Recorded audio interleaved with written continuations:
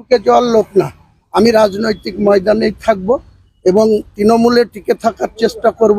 অভিষেক বন্দ্যোপাধ্যায়কে নেতা মেনে এবং মমতা বন্দ্যোপাধ্যায়কে নেত্রী অভিষেক বন্দ্যোপাধ্যায়ও মানে আমিও মানি। কিন্তু মমতা বন্দ্যোপাধ্যায়ের আশপাশে যারা স্বার্থনেশীরা বসে আছে তারা কতদিন টিকে থাকবে সেটা দেখতে হবে আচ্ছা। সেটা তো ভবিষ্যৎ কথা বলবে। সেটা হচ্ছে এই যে অভিষেক কালকে যে কমিটি গঠন হয়েছে তার দুজন সদস্য। ববি হাকিম এবং কল্যাণ বন্দ্যোপাধ্যায়। একাধিকবার বিতর্কিত মন্তব্য করেছেন। কয়েকদিন আগে ববি হাকিম একটা ধর্মীয় মন্তব্য করেছেন। যারা মুসলমান না হলে নাকি তাদের মানুষ জীবন ব্যর্থ এবং ওই তো মুসলমান না। ববি হাকিমই মুসলমান না হাফ হিন্দু হাফ মুসলমান। আমি বলছি উনি প্রমাণ করুন তো যে উনি ফুল মুসলমান। উনি আবার কি বলবেন মুসলমানদের সম্বন্ধে? আর কল্যাণ বন্দ্যোপাধ্যায়? কল্যাণ বন্দ্যোপাধ্যায় তো উনি নিজে অনেক বেশি শক্তিশালী আর আমি কোনো কাউকে পেশা নিয়ে আক্রমণ করতে চাই না। যে লোকদের পঞ্চাশ হাজার টাকা দিলে তার পক্ষে কথা বলানো যায় তো ওনাকেও দু লাখ টাকা দিলে আমার পক্ষে কথা বলানো যাবে? তৃণমূল কংগ্রেসের হয়তো আজকে আপনি লাস্ট কথা বললেন কারণ যে কথা আপনি বললেন দল নিশ্চিত আপনার বিরুদ্ধে ব্যবস্থা নেবে। কি করবে নিক না। আমি তো ব্যবস্থা নেয়ার জায়গায় বলতে আমাকে সাসপেন্ড করে দেবে। তো আমি তৃণমূলের বিধায়ক ছাড়া আমি কোন পোস্টে আছি? আমাকে তো প্রাথমিক মেম্বারশিপ আছে। দু হাজার বারো সালের বিশে নভেম্বর পার্থ চট্টোপাধ্যায় আমাকে একটা মেম্বারশিপ দিয়েছিল অল ইন্ডিয়া তৃণমূল কংগ্রেসের মেম্বারশিপ সেই রসিদটা আমার কাছে আছে। সেইটা থেকে বহিষ্কার করে দেবে। সেটার তো কোনো কথা বলারই জায়গা নাই। আপনারাই বলছেন যে কল্যাণ ব্যানার্জি বলেছে। ববি হাকিম বলেছে, আমাদের কথার কোনো গুরুত্ব নেই। তো আমাদেরকে বিধানসভার সদস্য, আমি বিধানসভার ভিতরে যদি ডেকোরাম মেনটেন করে চলি, তাহলে এখানে পরিষদীয় মন্ত্রী আমাকে সহজ করতে পারবে না। আমাকে এখানে বিধানসভার চিফ হুইপ এখানে কোনো সকোজ করতে পারবে না। পারবে কি? আপনারা বলুন, আপনারা সাংবাদিক, পারবেন আইনত? আমি তো সেখানে কিছু বলি না, বলছি না। কিন্তু বাইরে আমার মুখ বন্ধ করা যাবে না। যেহেতু তোমরা খাচ্ছ তোমরা লুটছো, তোমাদের হাতে ঘা লাগবে। হুমায়ুন কবির খায়ও না, লুটে না। আমি আশঙ্কা করছি, এই ধরনের প্রভাবশালীদের মদতে আমি মুর্শিদাবাদে বেঁচে নাও থাকতে পারি, মার্ডারও হয়ে যেতে পারি। মার্ডারও হয়ে যেতে পারি, কারণ এদের তো হেভি প্রভাব।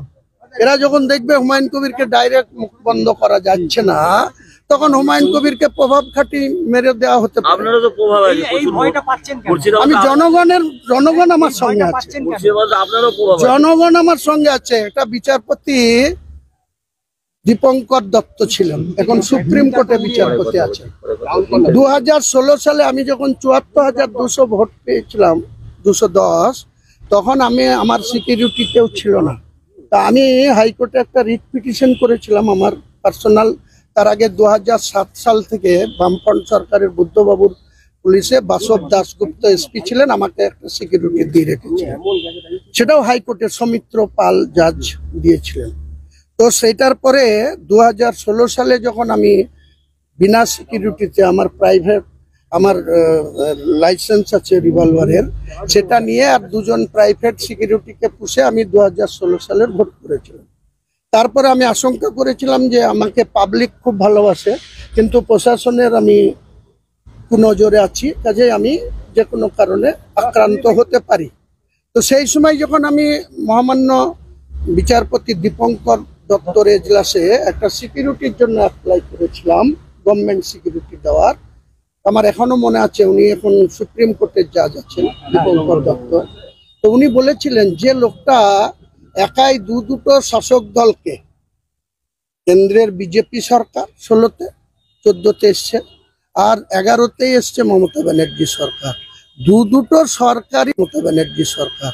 দু দুটো সরকারি শাসক দলের প্রার্থীতে সিকিউরিটি ফরফিট করে দিতে পারে, একাই চুয়াত্তর হাজার দুশো দশ ভোট ক্যারি করতে পারে, তার আবার দুজন পুলিশের কি দরকার? ও তো মাস লিডার ওটা রায়ে বলে দিয়েছিল সে কপি এখনও আমার কাছে আছে। তা আমি চক্রান্তের শিকার হতে পারি সে আশঙ্কাও আমি করছি কিন্তু আমি যতক্ষণ বেঁচে আছি মাথা উঁচু করে বেঁচে সেই কারণে কি আপনি চাইছেন যে অভিষেক ব্যানার্জি পুলিশ মন্ত্রী হোক? বললাম তো একই কথার পুনরাবৃত্তি বারবার করতে চাইছি না আমি অনেক আগে থেকে বলেছি এখনও আমার স্ট্যান্ড ক্লিয়ার। আগামী দিনে কে কোথায় থাকবে সময় আসলে বোঝা যাবে। তা আপনি কি অভিষেক ব্যানার্জির সঙ্গে থাকবেন না দল পরিবর্তনের কোনো ভাবনা দল কোনো পরিবর্তন করব না। দল যদি আমাকে বের করে দেয় তখন আমি নির্বাচনের বাইরে থাকব না এটুকু আপনাকে বলতে পারি। নির্দলেও দাঁড়িয়ে যাবে। একশো বার আমি তো বলছি আমি দল কোনো পরিবর্তন করব না আমি কোনো দলকে বিশ্বাস করি না কারণ আমি বিজেপি দেখে এসেছি। আঠারো মাস বিজেপিতে ছিলাম। দু হাজার উনিশ সালে বিজেপির পার্লামেন্টে ক্যান্ডিডেট ছিলাম। কংগ্রেস দলটা তিরিশ বছর করেছি। এই অধীর চৌধুরীরা মুখে অনেক কথা বলে কিন্তু এদেরও মানুষের কাছে আজকে রিজেক্ট হয়ে গেছে। সিপিএম যেমন রিজেক্ট হয়ে গেছে তেমনি অধীর চৌধুরীর কংগ্রেসও আচ্ছা সেটা হচ্ছে আপনার অভিষেক বন্দ্যোপাধ্যায়কে কীভাবে দেখতে চান আপনি? অভিষেক বন্দ্যোপাধ্যায়কে আমি কীভাবে দেখতে চাইলাম সেটা বড় কথা না। অভিষেক বন্দ্যোপাধ্যায়কে যে পশ্চিমবাংলার আগামী দিনে তৃণমূলের ভবিষ্যৎ ছিল তো মমতা বন্দ্যোপাধ্যায় আমাদের সামনে তুলে ধরেছে। আপনি এই কথার জবাব নিন। মমতা বন্দ্যোপাধ্যায় যখন অভিষেক বন্দ্যোপাধ্যায়কে জেনারেল সেক্রেটারি করেছে, তখন কি আমাদের মতো বা কল্যাণ বাবুদের মতো বা অভিষেক বন্দ্যোপাধ্যায়ের মতো কোনো সাপোর্টলি করেছেন না তিনি নিজে থেকে যোগ্য মনে করেছেন? তাই তাকে জেনারেল সেক্রেটারি করেছেন। আজকে কি এমন ঘটনা ঘটলো যে অভিষেক বন্দ্যোপাধ্যায়কে দমিয়ে রাখতে হবে অভিষেক বন্দ্যোপাধ্যায়কে দাবি রাখতে হবে। কেন? কার স্বার্থে ঘা লাগছে? ভাইপোর মধ্যে কি কোথাও কি দূরত্ব বাড়ানোর কেউ চেষ্টা করছে? চেষ্টা তো করছে কিন্তু তারা সাকসেস হবে না। মমতা বন্দ্যোপাধ্যায়ের আর অভিষেক বন্দ্যোপাধ্যায়ের কমিশনে আগামী দিনে পশ্চিমবাংলা দীর্ঘদিন ক্ষমতায় থাকবে। মানে দুজন যদি একসাথে থাকে অনেকেরই। অনেকেরই গাত্র দেওয়া হচ্ছে হবে যারা কাজ না করে শুধু মমতা বন্দ্যোপাধ্যায়ের কাছে, কানের কাছে মন্ত্র দেয়, তাদের অসুবিধা হবে।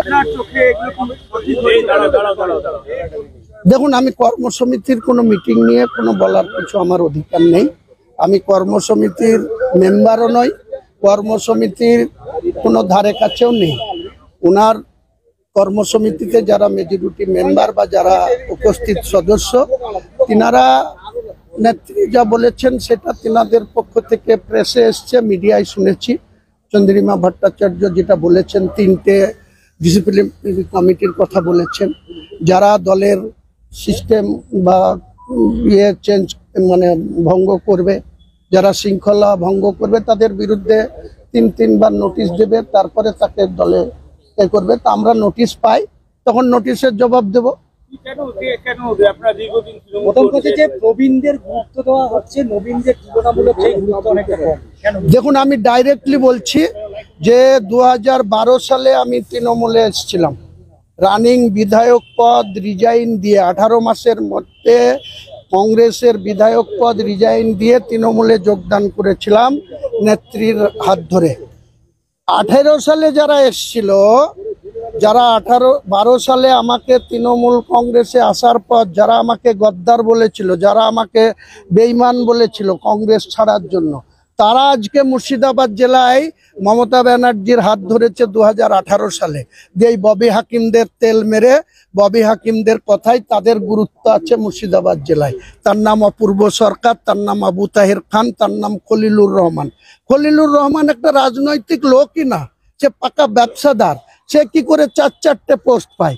সে হজ কমিটির চেয়ারম্যান হয়ে যায় সে ওয়াকফ বোর্ডের মেম্বার হয়ে যায় সে অন্য কিছুতে স্থান পেয়ে যায় সে জেলা সভাপতি হয়ে যায় সে এমপি হয়ে যায়। যারা তোষামত করতে পারবে তারাই তো নেতা এখানে কি আছে শৃঙ্খলার? কিছুই নেই। সেক্ষেত্রে কি অভিষেক ব্যানার্জি ক্ষমতা গর্ব হচ্ছে দলে? কিছু লোক চেষ্টা করছে। মমতা বন্দ্যোপাধ্যায় তো তাকে স্বীকৃতি দিয়ে রেখেছে। মমতা বন্দ্যোপাধ্যায় তো সংগঠনে তাকে নাম্বার টু বানিয়ে রেখেছে। মমতা বন্দ্যোপাধ্যায় অল ইন্ডিয়া তৃণমূল কংগ্রেসের চেয়ারপারসন মমতা বন্দ্যোপাধ্যায় তো নাম্বার টু করে রেখেছে জেনারেল সেক্রেটারি করে। তাহলে মমতা বন্দ্যোপাধ্যায়ের সঙ্গে তার যে কম্বিনেশন তার যে যোগ্য উত্তরসূরি, সেটা তো প্রমাণিত। কিন্তু এক শ্রেণির লোকরা তাদের ক্ষমতা খর্ব হবে বলে এখন নেত্রীর কাছে গিয়ে রাত দিন কানের কাছে বলছে যে এই করেন না এই করো না এই করো না দিদি এই করো না। কি হওয়া উচিত? হাকিম- অভিষেক উচিত? দু হাজার ছাব্বিশে ইলেকশন আসবে তখন। যেখানে আপনাকে বলছি যে ও ওর বক্তব্য কোনো গুরুত্ব নেই সেই ববি হাকিমকেই ডিসিপ্লিনারি কমিটির একজন সদস্য করা তো হয়েছে। সেটা ও ববি হাকিমের ক্ষেত্রেও প্রযোজ্য সেটা কল্যাণ ব্যানার্জির ক্ষেত্রে। সব থেকে যে ডিসিপ্লিন বেশি ভঙ্গ করে সেই ডিসিপ্লিন কমিটির ইয়ে। যে পার্টির হয়ে কিছু করে না সেই আবার কোঅর্ডিনেটর হয়েছে। তো এটাই আমাদের দুর্ভাগ্য। মুর্শিদাবাদ জেলার ভোটারদেরও দুর্ভাগ্য। হঠাৎ করে যে ভাবমূর্তি ফেরানোর জন্য আপনাদের দলের তরফ থেকে উদ্যোগ নেওয়া ভাবমূর্তি কি নষ্ট হয়ে গেছে বলে আপনি কি মনে করছেন? না আমি দলের ভাবমূর্তি কোনো জায়গায় ক্ষুণ্ণ হয়নি বা নষ্ট হয়নি। আমি বলছি কতিপয় ব্যক্তি তাদের নিজেদের স্বার্থ বিঘ্নিত হবে বলে মমতা বন্দ্যোপাধ্যায়ের কাছে নাম্বার বাড়ানোর জন্য এসব করছে। তারা সময় আসলেই যোগ্য জবাব? পাবে। না, হ্যাঁ? মতো এতটা নিচে নামতে চাইছি না কিন্তু আপনারা সাংবাদিকতা করেন আপনারা যথেষ্ট জ্ঞান রাখেন আপনারা জার্নালিস্টরা তো আমাদের গণতন্ত্রের একটা পার্ট আপনারা সেটা অ্যানালিসিস করবেন। না এই আপনার বিরুদ্ধে তো দল এবার ব্যবস্থা নিয়ে নেবে আপনি যে সব মন্তব্য করছেন দল তো এবার ব্যবস্থা নিয়ে নেবে। নিক না। তিনখানা শৃঙ্খলা কমিটি হয়েছে। হোক না। আমরা দলে তো আমাদের কোনো গুরুত্ব নাই। ববে হাকিমরাই তো বলছে হুমায়ুন কবিরের কোন কে যে কথা বলার। এখানে কল্যাণ বন্দ্যোপাধ্যায় তো বলছে যে হুমায়ুন কবির কে? কথা বলার তাহলে আমার বিরুদ্ধে আমার কথা বলারই যখন জায়গা নাই দলেরই যখন কেউ নয় তাহলে তাকে আবার শৃঙ্খলা কমিটির কোনো নোটিশ করার সুযোগ আছে বলে তো আমার জানা না তাহলে আপনি কি বলতে চাইছেন যারা রক্ষা কমিটি নিয়েই আপনি প্রশ্ন তুলছেন নিশ্চয়ই। কারণ আমাদের শৃঙ্খলা রক্ষা কমিটি কাদের জন্য? যারা শৃঙ্খলার সাধনের মধ্যে যাদের রাখা হবে তারাই তো শৃঙ্খলার বাঁধনের যদি ইয়ে করে ভঙ্গ করে তাহলে তার বিরুদ্ধে স্টেপ নিতে হয়। কল্যাণ বন্দ্যোপাধ্যায় বলেছে হুমায়ুন কবির কথা বলার কেউ নেই। ববি হাকিম বলেছে হুমায়ুন কবিরের কথার কোনো গুরুত্ব নেই। তাহলে আমরা প্লেন একটা লোগো দিয়েছিল ফর্ম বি দিয়েছিল আমরা মানুষ ভোট দিয়েছে আমরা জিতে গিয়েছি। তাহলে আমাদের কথার কোনো তো গুরুত্ব নেই। তো আগামী আপনাকে যেভাবে অসম্মানিত হতে হলো উদ্যোগ নেওয়া যে ভাবমূর্তি কি নষ্ট হয়ে গেছে বলে আপনি কি মনে করছেন? না আমি দলের ভাবমূর্তি কোনো জায়গায় ক্ষুণ্ণ হয়নি বা নষ্ট হয়নি।